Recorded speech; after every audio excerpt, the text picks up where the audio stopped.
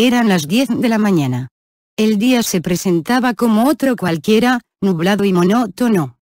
Ensimismado en pensamientos, una imagen me devolvía a la realidad.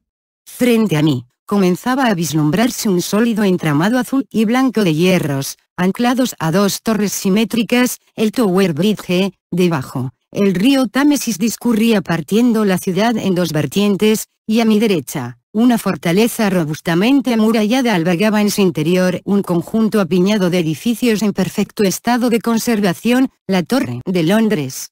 Tras descender de uno de los típicos taxis negros, una fina ráfaga de lluvia me recordó una vez más que me encontraba en Inglaterra.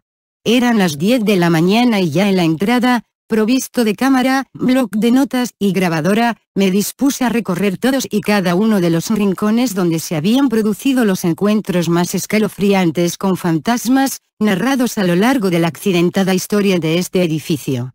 No podía ser casualidad que este fuera el lugar más turístico de Londres. Un poco de historia a la torre es una de las más famosas y mejor conservadas construcciones históricas del mundo. Su construcción se remonta al siglo XI, concretamente al año 1066, en tiempos del rey normando Guillermo I de Inglaterra, más conocido como Guillermo el Conquistador. Apenas habían transcurrido tres meses desde que derrocó al anterior monarca, Harold II, proyectó e inició las obras de un castillo en la margen norte del río Támesis, sobre las ruinas de los muros este y sur de la vieja ciudad romana de Londinum, Augusta. Este cercado acoge la construcción, en el centro de su planta, de una colosal estructura de piedra llamada en un primer momento la Gran Torre, Tegreat Tower, aunque actualmente es conocida como la Torre Blanca, Teguite Tower, con la función de albergar en su interior un palacio residencial acondicionado para ser habitado por la realeza. Su construcción comienza en el año 1078 y reemplaza al anterior fuerte de madera construido en el 1066, convirtiéndose en el edificio más alto de Londres, con una excelente posición estratégica para dominar la ciudad y el río. El sitio específico donde se alza fue influido por el muro de la ciudad romana. Se cree que las obras son completadas en el 1097, diez años después de la muerte de Guillermo el Conquistador. Su estilo de construcción está basado en el de las fortalezas palaciegas de los ducados normandos del siglo XI, y el trabajo de proyección corrió a cargo de Sir Gundulf, obispo de Rochester.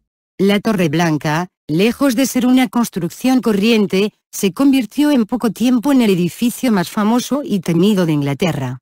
Rumores sobre las atrocidades que allí se cometían, corrían corno la pólvora alimentando leyendas entre lo ficticio y lo real, que más tarde tomarían forma en historias de fantasmas y espectros atormentados, cuyos protagonistas sufrieron entre sus murallas prisión, torturas y posteriormente la decapitación.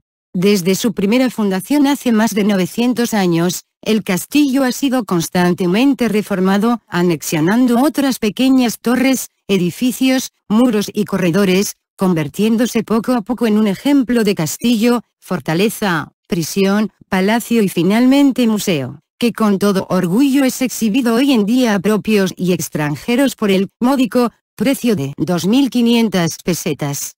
El fantasma de Ana Bolena, pero al margen de la historia oficial de este accidentado recinto, existe otra paralela mucho más interesante. Como no podía ser de otra forma, está relacionada con hechos inexplicables a la aparición de fantasmas de personajes históricos que allí fueron ajusticiados. La más conocida corresponde a Ana Bolena, la más célebre de las esposas de Enrique VIII. Al respecto existe una estremecedora escena que posteriormente fue recogida en la obra Ghost Visitors B, Spectre Stricken, publicada en 1882.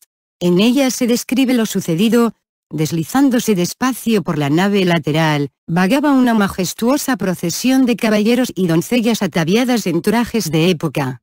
Encabezando la macabra comitiva se encontraba la figura de una elegante mujer que evitaba ofrecer el rostro al asustado testigo, pero se asemejaba enormemente al único retrato que había visto de Ana Bolena.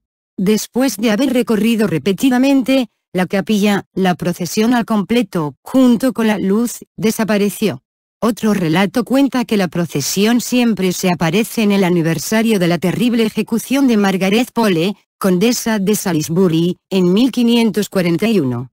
Esta anciana pero osada mujer, contaba 70 años cuando fue ajusticiada, fue decapitada era un arrebato de ira de su hijo, el sangriento Enrique VIII.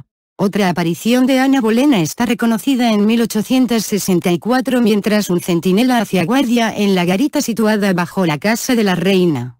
El estupefacto soldado vio aparecer de entre la espesa niebla que se cernía sobre la cuenca del Támesis, una figura blanca y etérea a la que inmediatamente dio el alto. Pero la figura no respondía y avanzaba deslizándose hacia él. Asustado, sujetó tembloroso su bayoneta en posición de ataque e increpó de nuevo al intruso hallando solo el silencio por respuesta.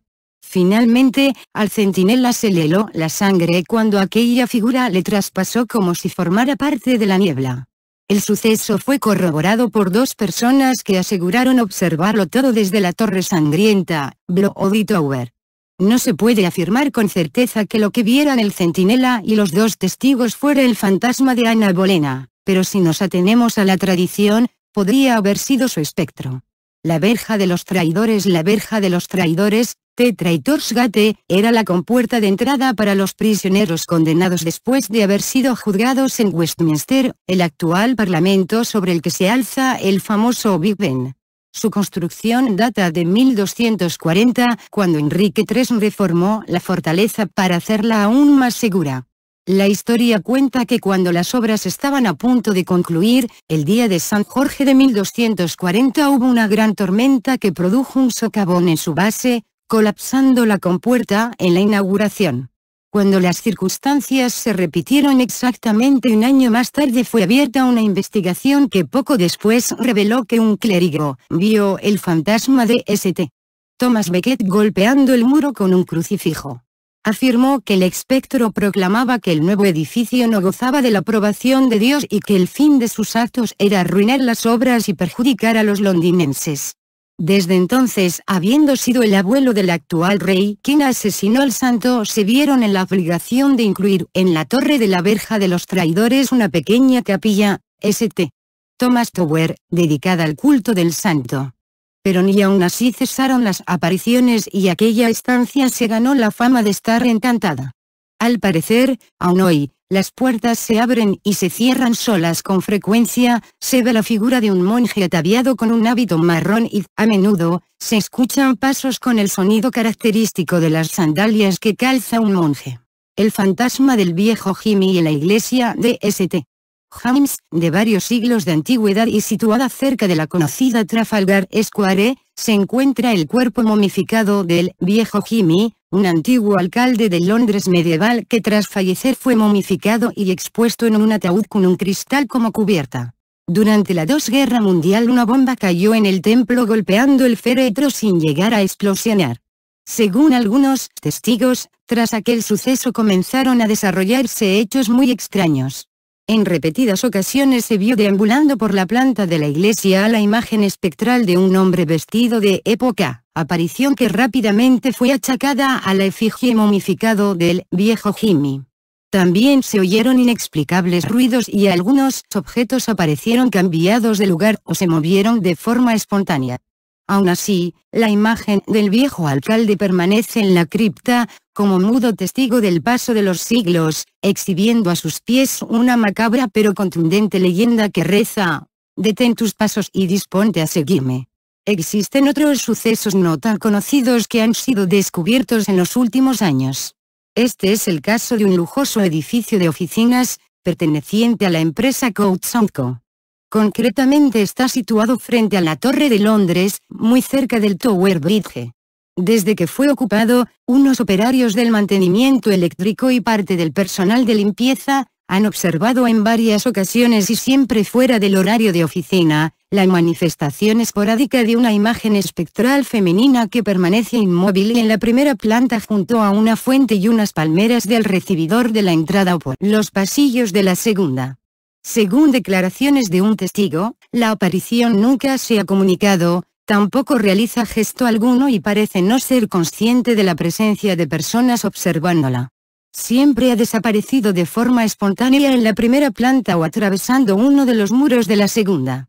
La identidad de la aparecida fue atribuida a Elizabeth Thomas Howard, personaje histórico sobradamente conocido en Inglaterra, pero la conexión entre la aparición y el lugar donde se produce continúa siendo un misterio, ya que no existe constancia de que ningún episodio de la vida de esta mujer se desarrollara en aquel sitio.